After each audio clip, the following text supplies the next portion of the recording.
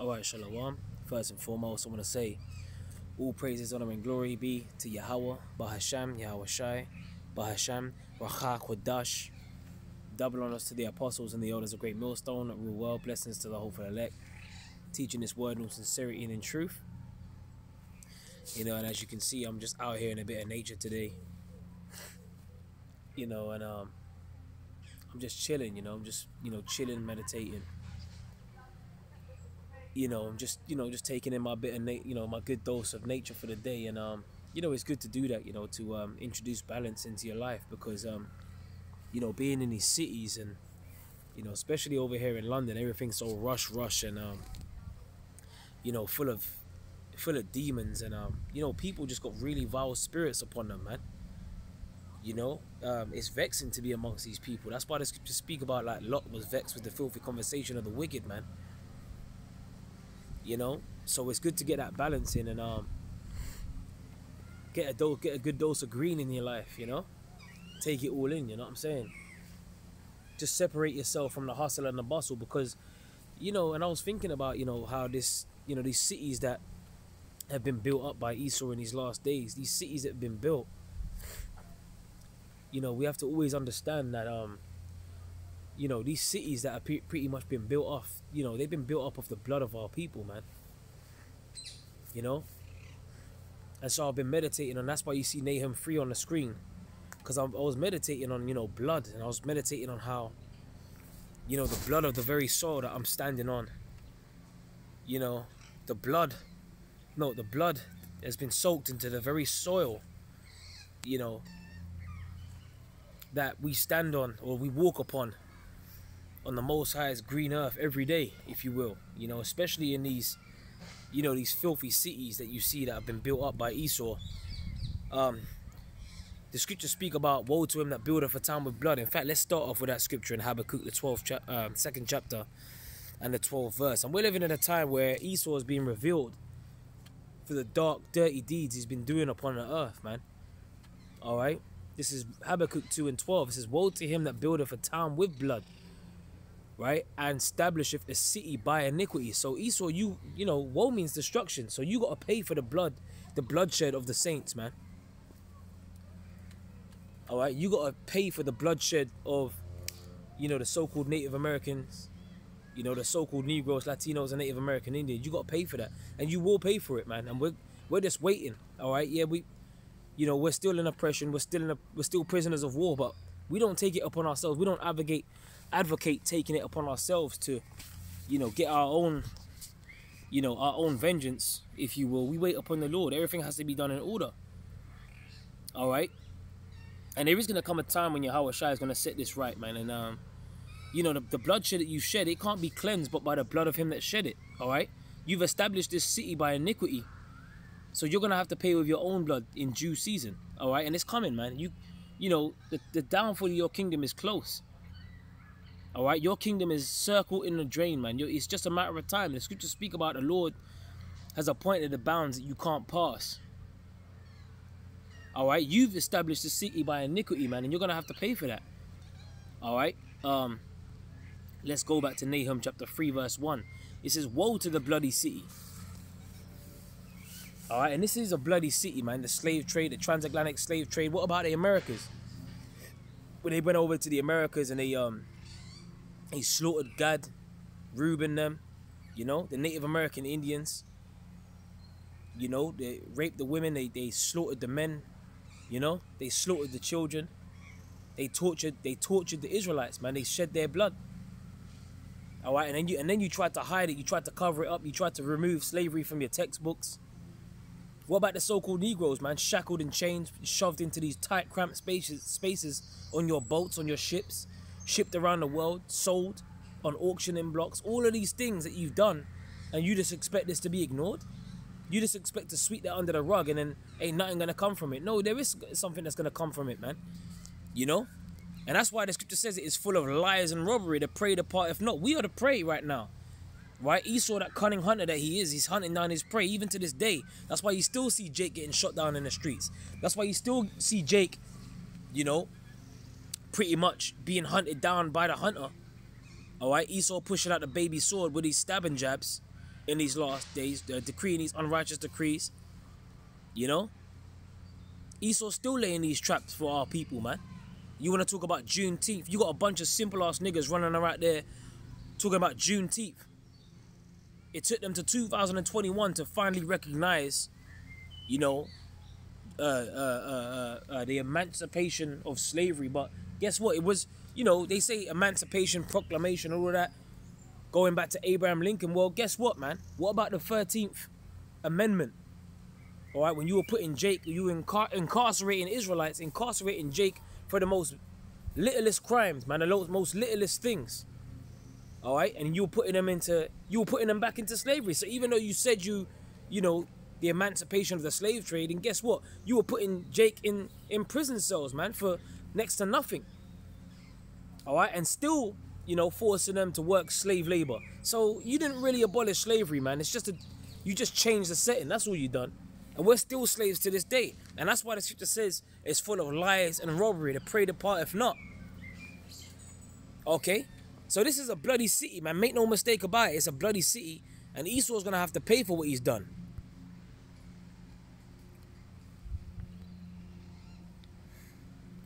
This is Numbers 35 and 33. So you shall not pollute the land wherein you are.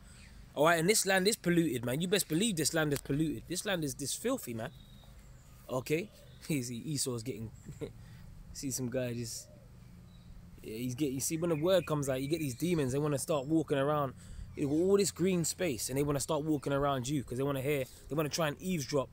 And Esau's on edge, man. You know, Esau's just. You know, he knows his kingdom's coming to an end, and you know, this is the bitter truth. This is the truth, and you know that's why the scripture says his children shall seek to please the poor. That's why you see Esau. They be catching themselves building hospitals, building schools, and so on and so forth, and going over to the land of Africa and doing this and doing that. All right, but guess what? That's just that's nothing but his children seeking to please the poor. All right. You you are talking about reparations? We want biblical reparations, like the what the, like the apostles were saying. We want biblical reparations, man. All right. Fuck your FRNs. Fuck your fiat currency, which you're devaluing every moment. Every day your fiat currency is being devalued. Why why do we want something that has no value? Okay? We want you. All right? Just like you stole us. You stole men, women and children. We want you. We want your men, your women and your children. That's what we want. Okay? And then we're going to be square. Then we're going to be, you know, we're going to be even so so to speak. It's so so you shall not pollute the land wherein ye are, for blood it defileth the land. So this land is defiled, man. All right? And when something is defiled, it means it needs to be cleansed. And how is this land going to be cleansed? All right, says, and the land cannot be cleansed of the blood that is shed therein, but by the blood of him that shed it. And that's the only way you cleanse this land. All right, so your, you know, your blood has to be shed in order for this land to be cleansed. All right. And again, we ain't advocating we go out there. Hey, the Lord is gonna, the Lord is gonna rise up to the prey in these last days. You best believe that. All right, what it's saying, Zephaniah three, all right, let's let's deal with the Lord's determination, the Lord's anger. Let's deal with what the Lord's coming back to do. All right, because the scripture says, "Woe to you that desire the day of the Lord. To what end is it for you? The day of the Lord is darkness and not light." Okay. Let's read this Zephaniah 3 and 8. Therefore, wait ye upon me, saith the Lord, until the day that I rise up to the prey. So guess what? You right now you're the hunter. You're about to become the prey. When you're gonna, the Lord's gonna show you who the real hunter is, man. All right. And when the lion, when the lion goes out on a hunt, like the apostles were saying, hey, all the animals scatter. Everyone's afraid. The scriptures speak about the Lord's gonna cry like a travailing woman, man. He's gonna cry and roar. The conquering lion is gonna roar when he comes back. Woe unto you that desire the day of the Lord. To what end is it for you, man? This bloody city is about to be cleansed, man, and I can't wait. I can't wait. All right, and these are the things that we got to be thinking about. Revenge, man. The things that we got to be thinking about. You know, the Lord coming up to rise up to the prey and and and pretty much put our enemies under His feet. The scriptures speak about us being able to tread on the necks upon tread upon the necks of our enemies, man. That time is coming. That time is near, man. All right, it says, because right now we're living in a time of a transfer of power, a transition of rulership upon the earth. Right now, the wicked is in, in rulership. All right, but because of those unrighteous dealings, all right, in fact, let's get that real quick. Let me hold that scripture. Sirach 10 and 4 and 10 and 8. It says, because of unrighteous dealings, injuries, and riches got by deceit. Okay, you got your riches by deceit, man. You're nothing but a thief. All right, and then once you got, you know, all the world's gold and precious jewels and silver into your possession, then what do you do? You, you have to hide yourself. And that shows you how much of a, a weak ruler you are, man, over the earth. Because you have to hide. When we get the power on the earth, we ain't going to have to hide, man. You're going to know who's ruling. All right? You're going to have to come up to Jerusalem, you know? I'm talking about these other nations. They're going to have to come up to Jerusalem to learn of our way, to be taught of our ways, man. Like it says in Isaiah, the second chapter. Let's let us go up to the mountain of the Lord. You know? A people before it's a place. You're going to have to be taught.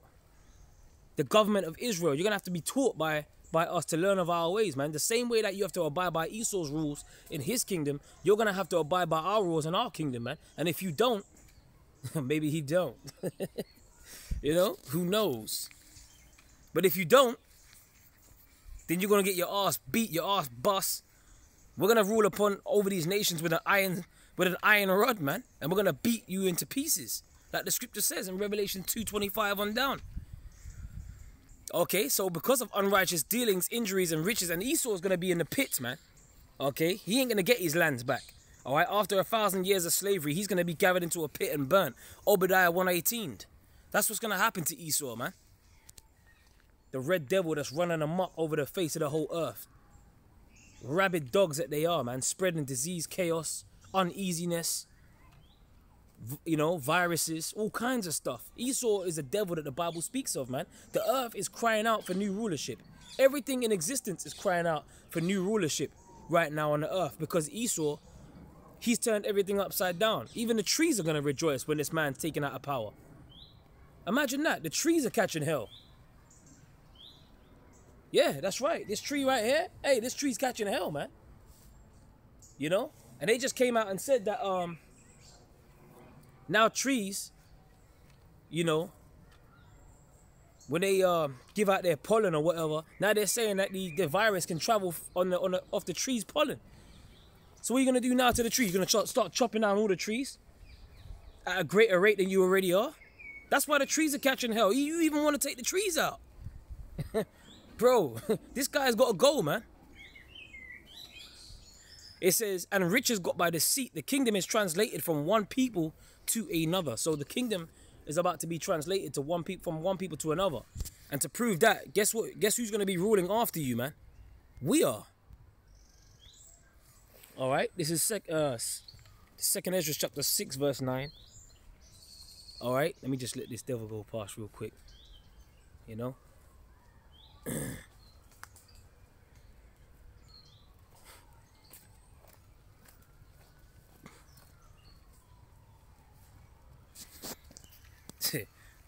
Yep, that's it. And that's how Satan works, man. That's how Satan works. You, you know, you come out here to the undisclosed area to do a video, and of all the places that man can walk, he wants to walk right through here. I'm pretty much like in a little corner somewhere, man. And I, I kid you not, I'm in like, I'm in the fields. I'm in the, I'm in a great wide open area. Behind, beyond these bushes, there's so much green where everyone can walk. But he chooses to walk right through this pathway right here. Hey, it's okay all right, with his pink t-shirt on and this is um Esau's through, man. All right, this is Second Ezra six and nine. This is for Esau is the end of the world. Maybe I should have read that out loud when he walked past. Nah, you know. It said, for Esau is the end of the world. And who's Esau? Esau is the wicked that the Bible speaks of. You can find out who the wicked is in Malachi 1 and 4. And Esau is the people who the Lord hates on the earth, man. The scriptures tell you that. Malachi 1 and 4. When you start from verse 3, it says, I love Jacob and I hated Esau. So Esau would be the end of the world, who the earth has been given into the hand of the wicked in these last days. Right? He's the end of the world, and Jacob is the beginning of it that followeth. So once Esau goes out of power, out of rulership, we're gonna be next in, you know, next to rule. And we're gonna take his ass out of his power seat through the spirit and power of Yahweh Hashem Yahweh Shai. Yahweh Shai is going to come and do it first. And we're going to be joint heirs with Yahweh Shai, man. And that's why we got to endure until the end, until the Lord comes back. You know, to pour upon them his indignation. Let's go back to Zephaniah 3 and 8. It says, For my determination is to gather the nations that I may assemble the kingdoms to pour upon them mine indignation. And indignation means righteous anger. All right? So does the Lord hate? Is the Lord angry? Yes. Right? And it's just because Esau is the wicked. He needs to be paid back for the things that he's done. Remember, we spoke about the bloody sea. Okay? The controversy of Zion, man. You done touched the apple of the Lord's eye, man. All right, we're the, we're the Lord's chosen people on the earth. And you put us in the favelas, the ghettos, okay? Put us in the slums, have us eating shit diets and, you know, promoting nothing but filth among our people, flooding our communities with drugs, guns, promoting adultery amongst ourselves, amongst our community, lacing our food with pork, all kinds of abominations, you know, advertising it as a delicacy to our people. Hiring sellouts of our nation, you know, and putting them up as puppet leaders over our nation, celebrities and that and whatever, and making them follow after these false idols. That's what you've done, man. Because the scripture called Esau the accuser of, of, of thy brethren, man. Who slandereth thine own mother's son. That's what Esau does. Alright? Esau accuses, accuses us before the Most High, but guess what? He's the one that sets up the situation for us to go off in the first place. Now, ultimately, we know that the Heavenly Father controls everything, but Esau is being used and manipulated on the left-hand side by the Lord to do the bidding of the wicked on the earth. And that's why he's going to have to pay. And this is the Most High's movie. Don't get angry with us. You take it up with the Lord. That's that's the setting that you have been created to play on the earth. And in every movie, like um, like even a computer game, you got the good guy and the bad guy. You got to take out the bad guy in the computer game. Let's use a computer game as an example. You got Super Mario, right? You got Super Mario, Luigi, and them, Princess, and then you got and you got uh, Bowser. Okay, or Super Sonic. You got Sonic, and then you got Shadow. You got uh, Dr. Robotnik, and so on and so forth. You know, for all, all you old school gamer heads out there, you know, I used to play a lot of games. You know, Street Fighter, you had you had Ryu, Ken, you know, and then you had M Bison, Sagat, you know, you had you always had opposition. All right, and the Lord does everything with balance, man. All right, the scripture says a false. There's a scripture that says a false balance is an abomination to the Lord. All right, so let's go ahead back in um, Zephaniah 3 and 8. It says, Therefore, wait ye upon me, saith the Lord, until the day that I rise up to the prey. For my determination is to gather the nations, that I may, may assemble the kingdoms, to pour upon them mine indignation, even all my fierce anger. So is the Lord angry? Yes. He's very angry. All right. The scripture says the day of the Lord burns in his heart. There, oh, there's a scripture that says that the Lord is angry with the wicked every day. Right? It says, For all the earth shall be devoured with the fire of my jealousy. So the Lord is coming back with fire, man. And he's about to put down all rule and authority. The authority that's over the earth right now is about to be put down. Esau's authority, his rule on the earth, is about to be put down, man. And all these heathen nations that are imagining a vain thing, thinking they're going to be the next rulers, you know, that's exactly what it is. It is a vain thing. It's futile to imagine you to be the future rulers over the earth because there's going to be there's about to be a new kingdom set up upon the earth that's going to never be destroyed. We're going to be ruling forever. Let's read Daniel 7 and 18. But the saints of the Most High shall take the kingdom and possess the kingdom forever, even forever and ever. All right, and that's straight into the point. And who are the saints? The saints of the Israelites, bro. Okay. Um.